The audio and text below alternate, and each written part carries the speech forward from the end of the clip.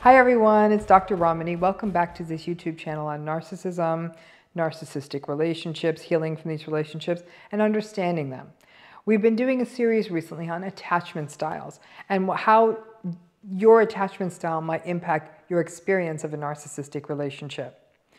Thus far, we've talked about the anxious style, we've talked about the avoidance style. Now we're going to talk about the disorganized slash fearful attachment style.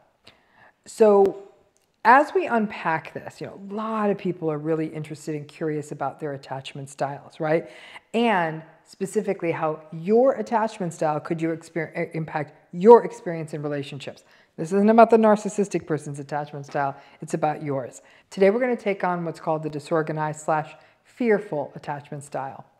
Now this is a very difficult style to bring into a narcissistic relationship. It's a style characterized by high avoidance and high anxiety, both. This is the attachment style where we see both the avoidant and anxious attachment styles come together. It's an attachment style where we see lots of difficulties and challenges with trust in any relationship. And so there might be in when these for people with disorganized attachment styles in their relationships, there might be intense periods of closeness and then the person with the disorganized relationship style will pull away when things feel uncomfortable, and then intensely recouple, perhaps if there is a period of hoovering or coming together. As a result, this means that when a person with a disorganized, fearful attachment style is in a relationship with a narcissistic person, it can be very volatile. The very nature of narcissistic relationships where there is idealization mixed with invalidation, sometimes mixed with detachment, can mean that that kind of relationship landscape for a person with a disorganized, fearful attachment style can feel like terror and chaos. Dysregulation is a common theme in people with disorganized slash fearful attachment styles, and it can be difficult for people with these attachment styles to manage their emotions, which means there can be strong shows of anger, despair, depression.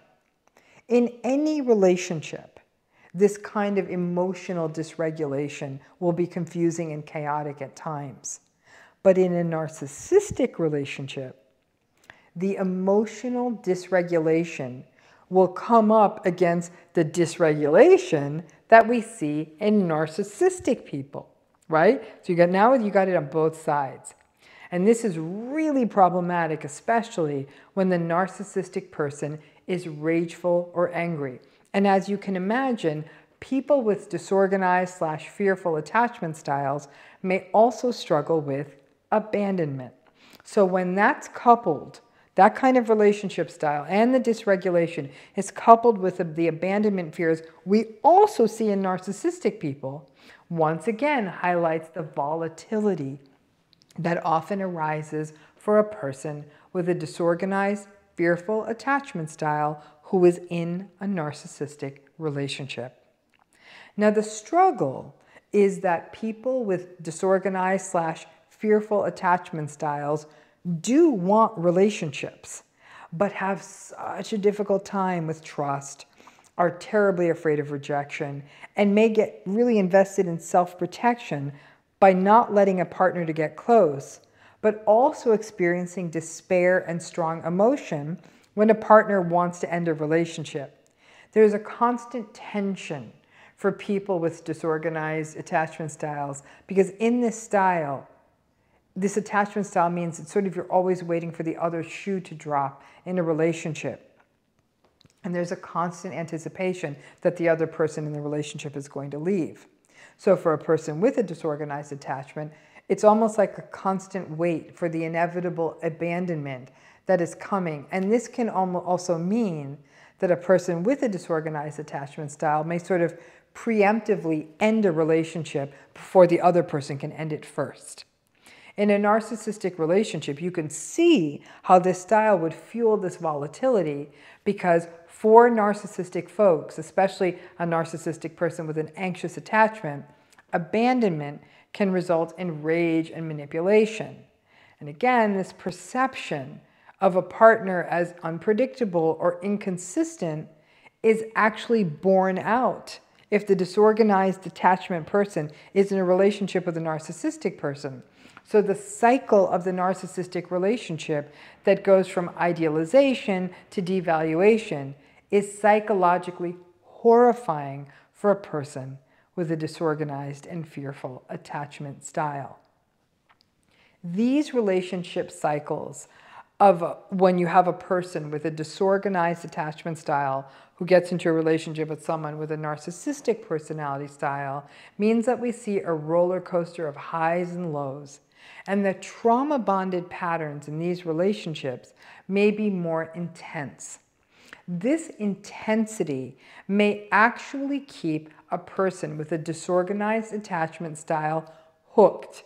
It becomes a confirmation, sadly, that relationships are unsafe and untrustworthy, and that confirmation can keep a person locked into a toxic cycle. The, the disorganized attachment style is often born out of a history of childhood abuse. A child either being a direct recipient of abuse or the child witnessing a caregiver being abused. Whatever that sort of the, the trauma and the chaos the child grew up with, it sets up a cycle of fearful attachments from a childhood with a child never knowing how to get their needs met or not knowing if their needs ever will be met. From a survival standpoint, the child is stuck in a constant state of fear and insecurity. And despite that natural drive to want to trust, the attempts to trust are often met with betrayal, and that leads to this attachment style. Now remember, there are two people in a relationship. And it is also possible that the narcissistic person themselves, if they also have a disorganized attachment style, it would then be a relationship with two fearfully disorganized attached persons in it, and one of them's narcissistic. And this is very much an environment of volatility, distrust, fear, abandonment, and major difficulties with ever being able to create any kind of consistent, intimate, and deep bond between partners. For people with disorganized attachments, because trauma is so often part of the origin of the, of the disorganized attachment style, trauma-informed therapy is often essential to work on these issues. None of these attachment styles are an indictment. You're not stuck forever.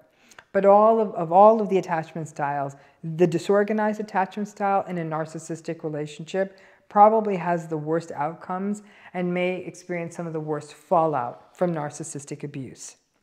The disorganized attachment style, again, that, that early history of how much loss and invalidation there was, that incapacity to feel that there's any safe places to go.